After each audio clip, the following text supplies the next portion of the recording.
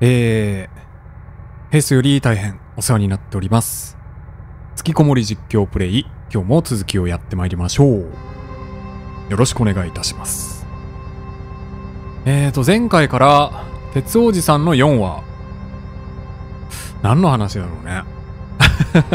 なんか一言では言い表しにくいというか、まあ山の話ではあるんでしょうけどね。前回は山で悪魔に魂を取られて鉄おじさんが死んでしまう話でしたけどね。まあまた頭からやり直していってみましょう。最初あれなんだよな。鉄おじさんがなかなか話をし始めないっていうね。なんか考え込んでいるっていうか。ここもうやっぱ魂が取られてるっていうあれだったのかな。で、ようこちゃんとしては、早く話してと、せかしてみますか。前回はちょっと様子見たんだけどね。鉄おじさん、早く話を。あ、大丈夫。ちゃんと分かっているぞ。こんなこと言ったって、鉄おじさんたらまるっきり上の空じゃない。やっぱり魂が。よし、こうなったら。睨んでみる。私は一言も喋らず、じーっと鉄おじさんの顔を睨んだ。するとね、おいおい、そんなに怖い顔しないでくれよ。ちゃんと分かってるから。って、やっと鉄おじさんが話し始めてくれた。あー、やっぱ山？あれはいつ頃のことだったか。一人で山を登っていた時の話か。まあ、ここは変わらんのか。じゃあ最初のは何なんだよってね、なりますけど。変わるルートもあんのかね選択肢の組み合わせで。じゃあ、ここは前回はわからないって言ったら、まあ雨の話になったんだよね。で、幽霊的なね、ものも出てきてはいたけど、熊行ってみますか？山で一番恐ろしいもの、それは熊である。熊か。そうだな、確かに熊は怖い。だがな、山にはもっともっと怖いものがあるんだぞ。熊以上に。いいか？山で一番怖いのは、あー、結局雨？雨になっちゃうか。うーん。同じ話ですかね。あ、でも、雨じゃなくて霧って言ってたっけ？途中で雨が降り出すなんてことはザラ。山の天気は変わりやすい。空の一角にポツンと嫌な雲が見えるなと思っていると、あっという間にどんよりした雲が空を覆っているんだ。場合によってはすぐに、あ、霧ね。じゃあ同じかな？同じっぽい。うん。ちょっと天気が悪くなってきたんで、今登ってたんだけど、下山し始めるんだよね。で誰かがついてくる気配がすると。ああ、音だけが聞こえる。音が聞こえるんだけど姿は見えないっていうね。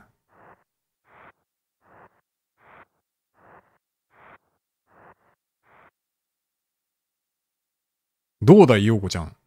こんな体験したことがあるか？一回ないって言ってみる。一回ないって言った後に、実はある。なんだ。実はあるんじゃないか。この組み合わせは初めてだけど。奇妙な足音っていうのは結構有名な現象なんだな変わんないですね。じゃあ、無視して進んで、追い抜かれるんですよね。その足音にね。で、その先で、山小屋を見つけて、中に入ってみるんですよね。どうだろう、ようこちゃん。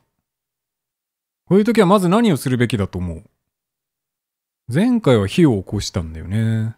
そしたら、謎の男がね、出てきたんですけど。食事、食事か。寝ちゃおっか。寝ちゃえばあの男と会わないだろう。睡眠をとる。睡眠をとる？何言ってんだよ、こちゃん。そんなことをしたら死んでしまうぞ。そうですか、すいません。いいかい？山の上っていうのは夏でも気温が低いんだ。日が暮れると暖房だって必要になる。あでも寝袋とか持ってないのかね。寝れるような何かはないんですか？山小屋の中に。しかも雨に濡れて体がすっかり冷え切っていて、そんな時に服も乾かさずに眠ったりしたら間違いなくあの世行きだぞ。この場合の正解は、ああ、火を起こす。結局ダメだな、横ちゃん。こんなことは冒険家の常識だぞ。冒険家じゃないもん。今度冒険家の基礎知識をしっかり教えてやろうな。それには一緒に旅をしてみるのが一番なんだがな。ああ。なるほど、誘われるんですね。おじさんと一緒に世界のロマンを求めて旅に出ないか。いやー ここで嫌を選ぶのも初めてかな。え、嫌なのかい？参ったな。そんなに強く言わなくたっていいじゃないか。おじさんの神経はとってもバリケードなんだから。また言ってる。それを言うならデリケートだろう。お。ああ、鉄おじさんたら、よしおか。この間見たルートだとね、誰も突っ込んでくれなかったんですけどね。よしおがやってくれたか。よしおにまで突っ込み入れられちゃって。使い慣れない言葉を無理して使おうとするからよ。これ、あえて使ってるっぽいですけどね。ガッハッハ。よしおくんは物知りだな。鉄おじさんは特に気にするでもなく豪快に笑うとまた話を続けた。じゃあ、あいつ出てくんだよね、きっとね。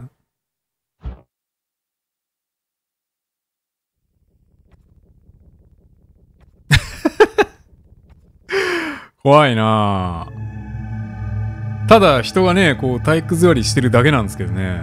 何ですかね、この不気味さ。焚き火の向こう側に膝を抱えてうずくまっている男の姿が見えた。悪魔なんだよな。この後選択肢はどうなるんでしたっけ？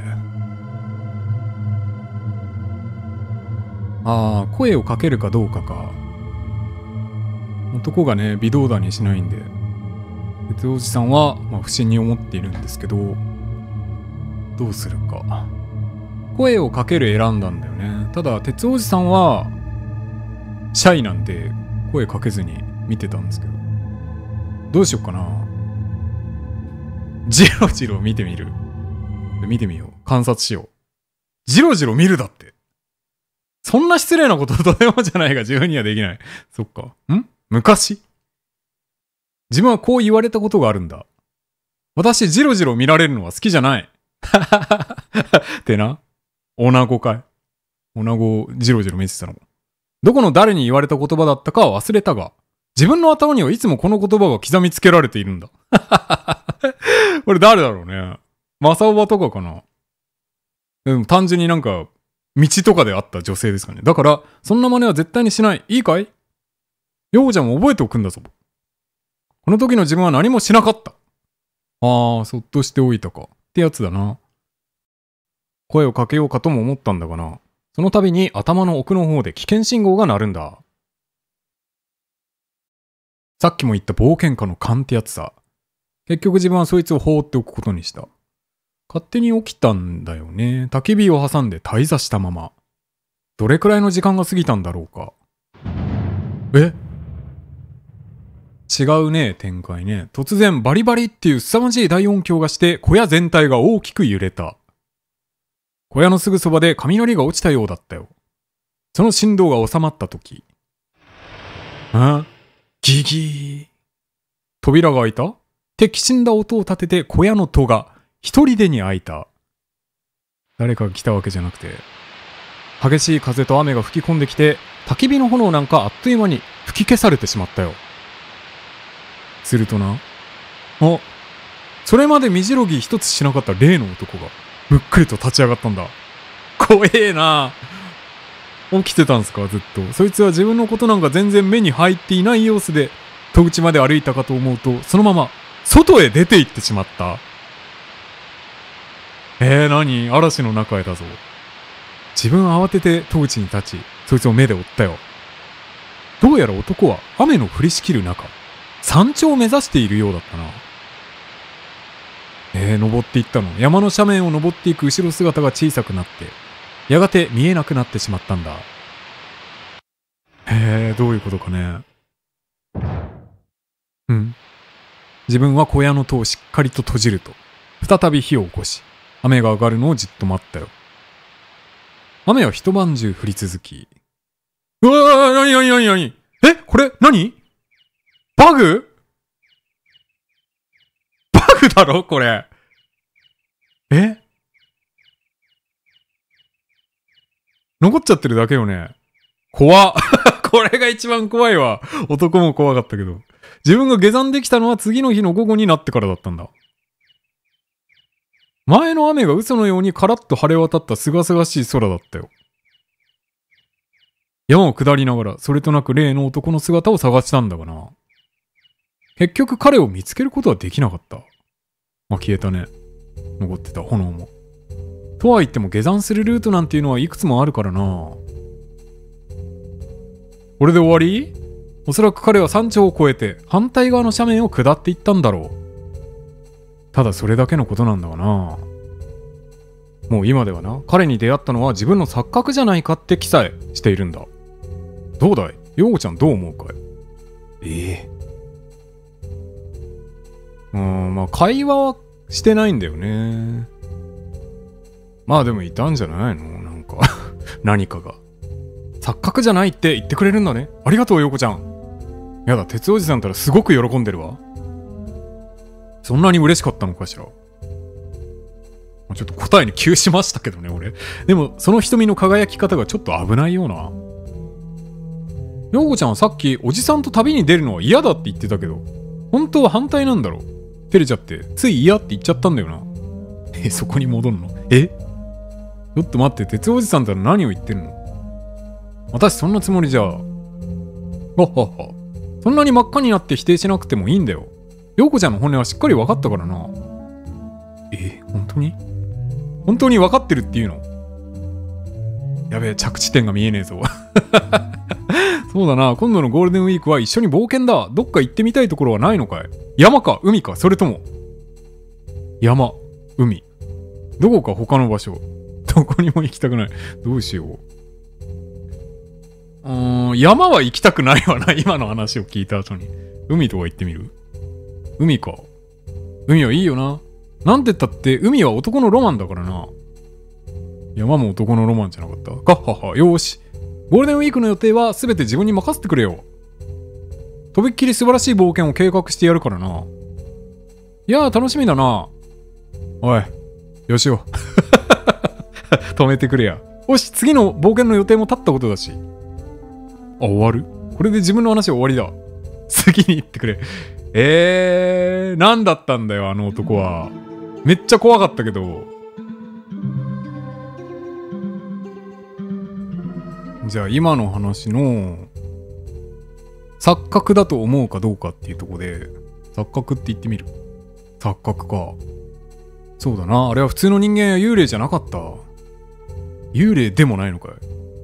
まあ、影はあったって言ってたけど、影楼や蜃気楼のような自然現象に近い存在だったと思うんだ。あー。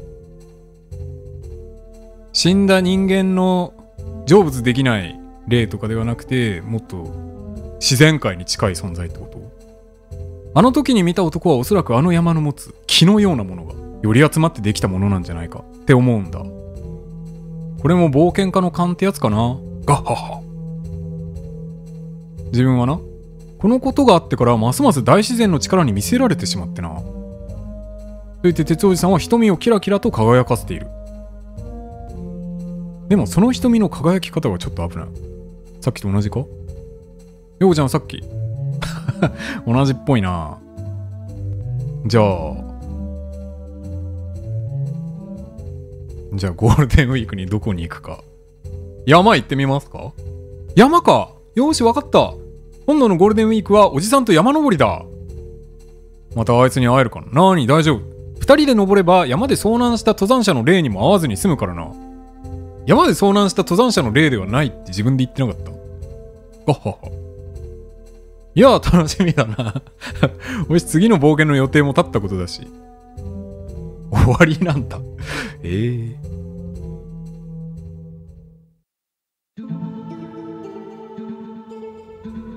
なんかもう一盛り上がりあっても良さそうな気もするけどね。3番行く？じゃあ、どこか他の場所。山も海も嫌だと言うんだね。うむ。さすがヨコちゃんだ。イギリス行こうや。ショーンに会いに行こうよ。ヨコちゃんの心の中でも自分と同じ冒険家としての熱い魂が燃えているんだな。よし決めたぞ次のゴールデンウィークは砂嵐の夜にだけ姿を現すという巨大な迷宮。ゴールデンウィークだけでいけるか？それ。大丈夫かな？その最下層に眠る秘宝を探し求める旅に出るぞ。それ、楽しそう。それの、その話が聞きたいな。それ7話でやってくれや。あれは、どこの国の砂漠だったかな？おっと、ヨコちゃん。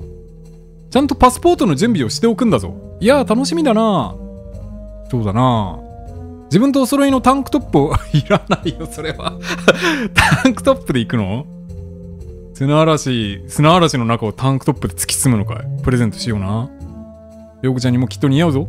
よし次の冒険の予定も立ったことだし。うん。終わるのか。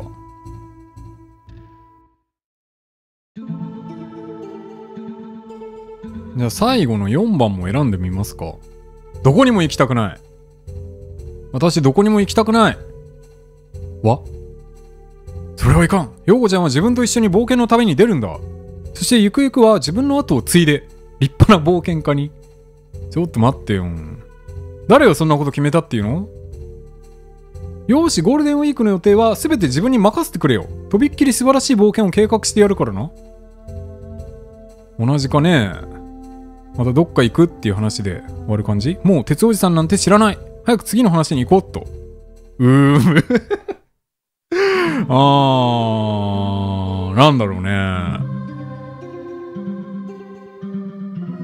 えーと、ちょっとこの話ですね。まあ、見てない選択肢自体は結構あったと思うんだよね。でその辺見ていってみたんですよ。もう3番幽霊とか見てなかったでしょ。ただね、変わんないのよね。うん、結局、雨が一番怖いよっていう話で、まあ、聞かせてくれるのもあの話なんですけど、あれもう終わりなのかなって思ってちょっと調べてみたんですよ。あるね。一応まだ見てないルートあってですね。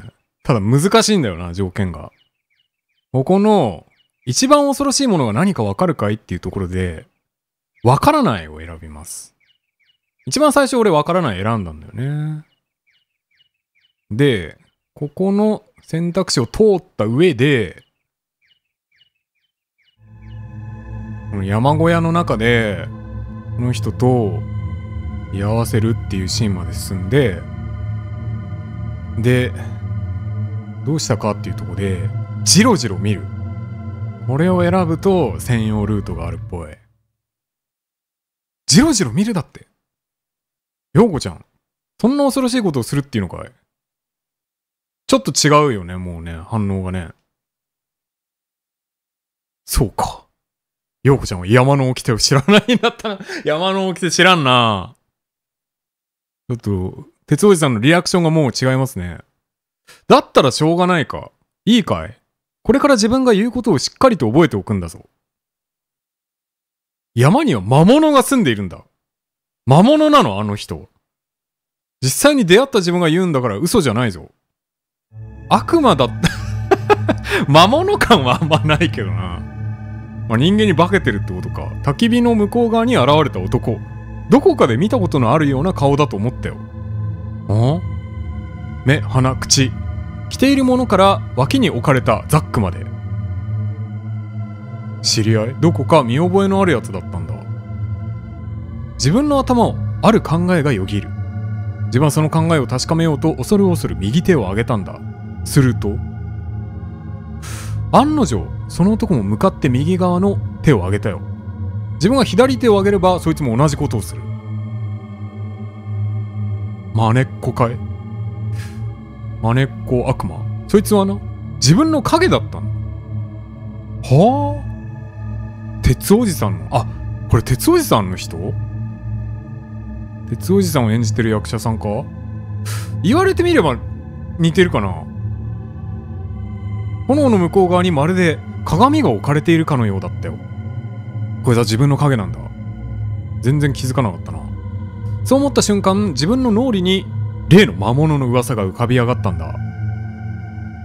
太陽が地平線にかかる朝と夕方。霧の中に魔物が姿を現す。だが決して魔物を凝視してはいけない。ああ、じろじろ見ちゃいけないんだ。見ないのが一番だが、どうしても気になる場合は時折、チラチラと目を向けるって。どんなお掟なの？チラチラと目を向ける程度に抑えれば許容してくれるんだ このこの意外に融通が利くせいで掟がすげえ長くなっちゃってるんですけど。なるほどね。これがその魔物について伝えられている噂だ。自分は慌てて目をそらしたよ。どうかな？ちょっともう多少は見てるはずですけどね。凝視してるって判定されちゃうとまずいね。腕時計で確認した時刻は17時23分。ちょうど日が沈む頃だったはずさ。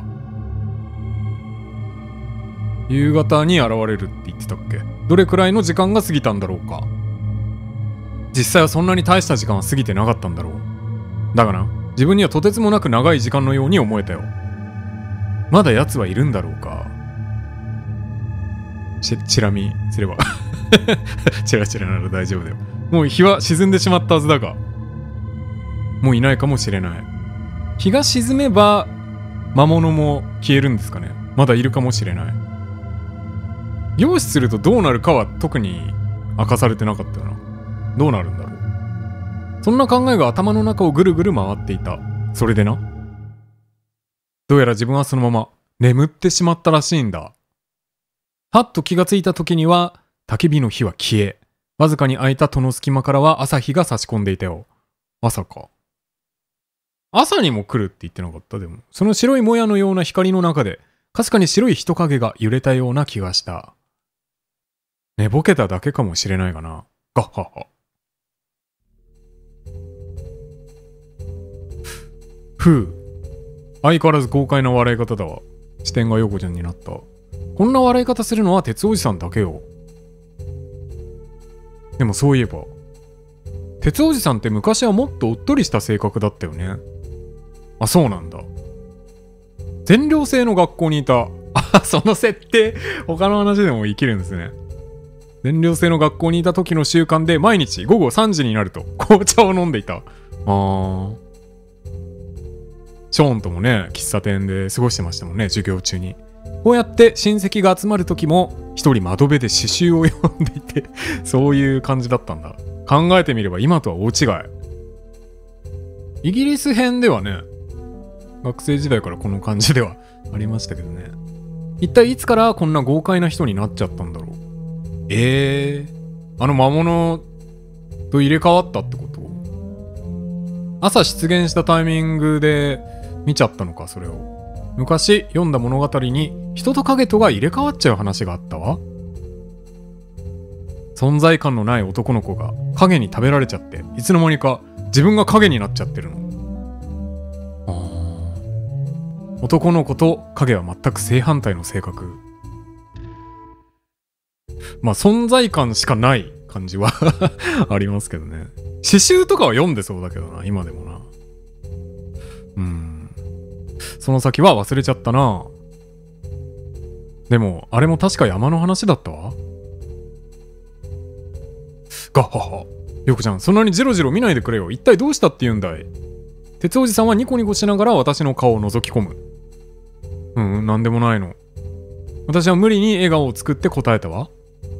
必死に心に浮かぶ考えを否定しながら。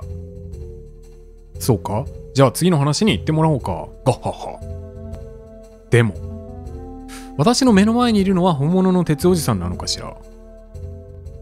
違うかもね。あー、もともとこういう感じではなかったんだなでもこの鉄おじさんじゃなくなっちゃったらそれはそれで寂しいよね。この鉄おじさんしか知らないもんね、うちらね。セーブしてなかったな。これセーブしておこうか。いや、これ、また2パートで終わっちゃった。すごいよね、村が。ボリュームの村がすごい感じするわ。だって、鉄おじさんね、風間さんの話で5、6パート使いましたもんね あそこにそんな力注ぐ？みたいなね、ところありますけどね。